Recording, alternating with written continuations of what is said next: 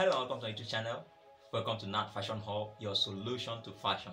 It's always a nice time to be here because I believe that my videos are helping you and you are learning a lot from it. Like I said in my other videos, please, I need comments. Drop a comment and let me know if what I'm teaching you, you're understanding and it's it's it's helping you to grow in fashion. Today we're going to do a very simple thing. I'm going to teach you how to cut a danshiki. So many of you have been wondering how is a danshiki cut? You know, because it's so being like agbada. It's very simple.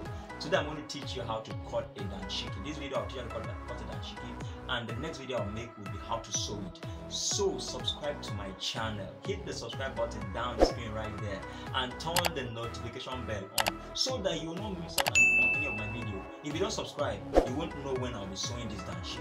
But if you subscribe and you turn the notification bell on, you will know when I'm sewing danshiki because you will receive a notification immediately I drop the video. So subscribe, subscribe, and subscribe. So without wasting time, let's get into the class and do our danshiki cutting. Thank you. Welcome to Nat Fashion Hub.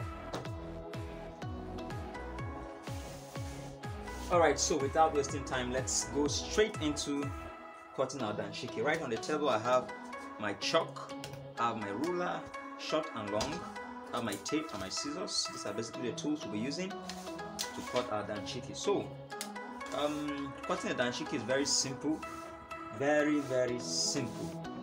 You know, the easiest way to cut your danshiki is to fold your fabric into four. You can see this fabric. First, I need to measure and know that when I fold into 4, it will still give me the length of danshiki I want. For this danshiki, I'm looking for a length of just 31 inches. So folding is the material, you see. So I folded into 2. 2, that's step 1. Folded into 2. So I will measure and see if the length is long enough to give me the length of my danshiki so I'm looking for a length of just 31 so this is this is 31 so it's long enough to give me my danshiki you know so after folding this way we now fold for the second time. And the second time we are folding it you see we're folding it this way. Second time we're folding this way see. So now we have our danshiki now we are using we are using basically we are using basically three measurements to cut our danshiki we are using the shoulder the shoulder measurements. We are using the bust and we are using the full length of our danshiki the length of the top how long we want it to be. So for our shoulder the shoulder for this danshiki is 16 so if we measure you see that we have our 16 here and we still have excess allowance and we don't need that much allowance.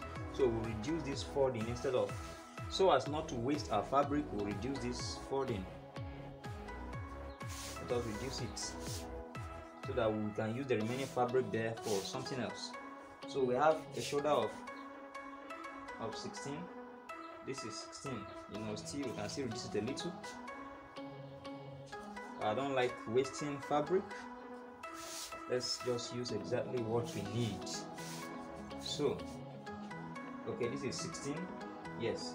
So the remaining two inches here will be used for our hemming allowance. Used as hemming allowance. So this is this is 16 right here. So the arm we use for arm allowance we use 11 right there for our arm sleeve round you know here at this point we're using 11 that should be 22 11 so the next thing for us to do is to take our bust measurement. Let's extend this line so we can get our bust measurement. You can see the line very clear.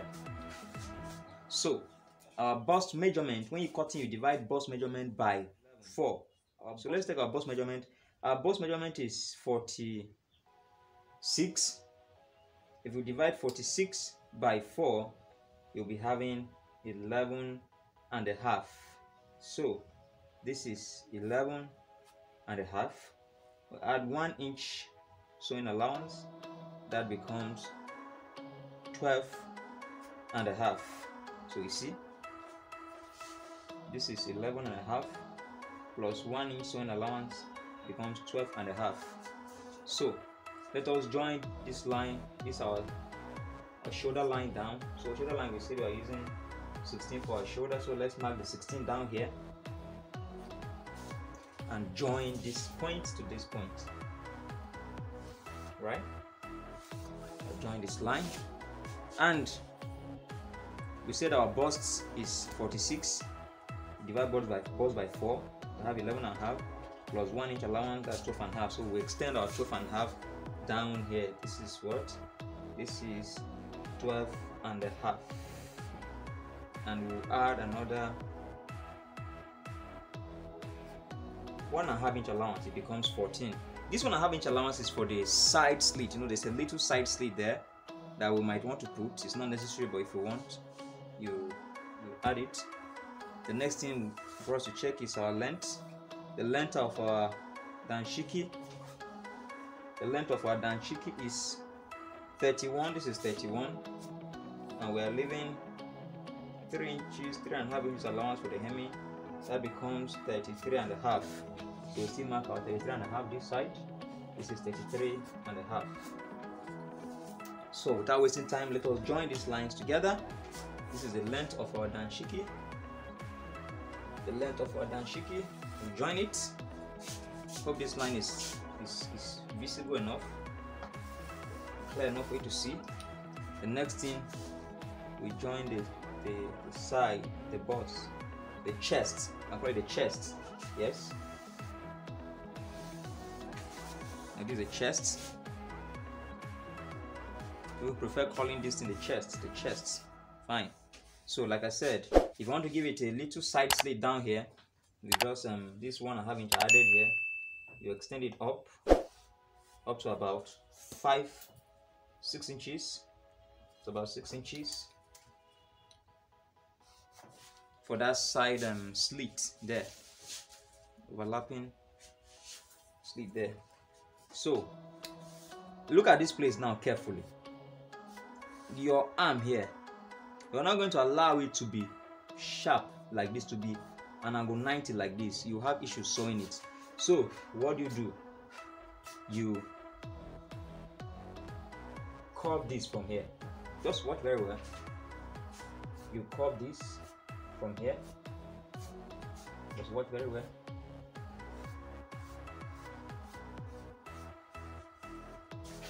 Hope you can see this. You can use your your cups if you have them to cut this. Can you see? So you curve it like that.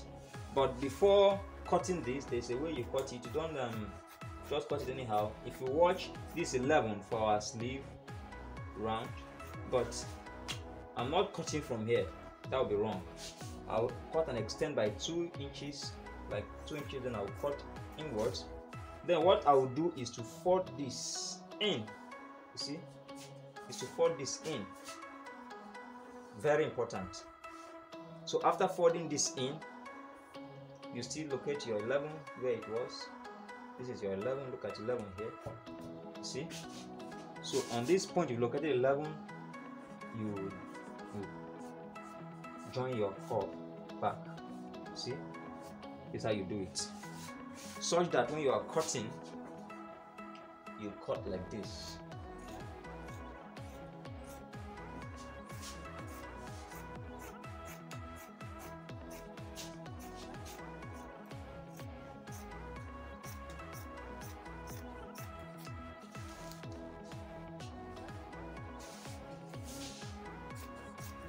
hope you are following and you're finding it easy and straightforward. So you see this is our danshiki now if you open this it will look like this. Now it's very important. If you don't do this if you had cut this straight hmm, by the time you would want to hem this sleeve you see what what's happening. You'll be having a shortage from here so cutting it like this prevents that shortage from occurring. The next thing we are going to do is to locate to remove the neck you know. And this person has a neck of 17 so we will mark two and a half inches. Can you see? We're marking two and a half inches for the wideness of this neck. This is two and a half inches hope you can see the chalk is clear enough for you to see. This two and a half inches by a depth of four and a quarter. You see?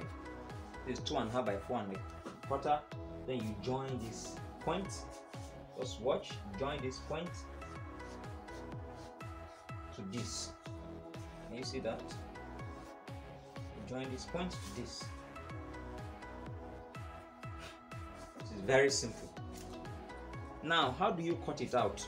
You don't start cutting here. If you start cutting here it means you're cutting both the back and the front piece together. You don't do that. Simply you cut half inch. This is this is what? Is half inch. You see? So you cut it first. Both the back and the front you first cut it by half inch. Look at it we first cut it out by half inch. It's a very simple way of cutting danshiki if you've not subscribed to my channel please hit the subscribe button and turn the notification bell on.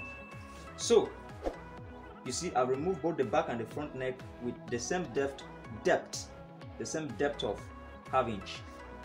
Once I'm done with that I will now open my danshiki and separately deepen the front piece. You see this is my danshiki. I've opened it. Now I will separately deepen the front piece. Like I said it's a very very simple way of cutting danshiki. I don't want to teach you anything that will complicate be complicated. So you see at this point we can now remove this neck the front piece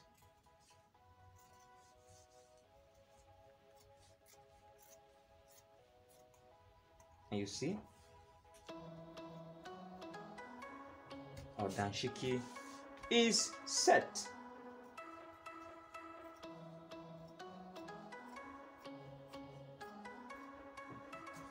You see? This is our neck. This is the front. This is the back. This is the back. And this is the front. So if I should cut this back you can now see that we have our danshiki. Right here you see? This is the back and this is the front.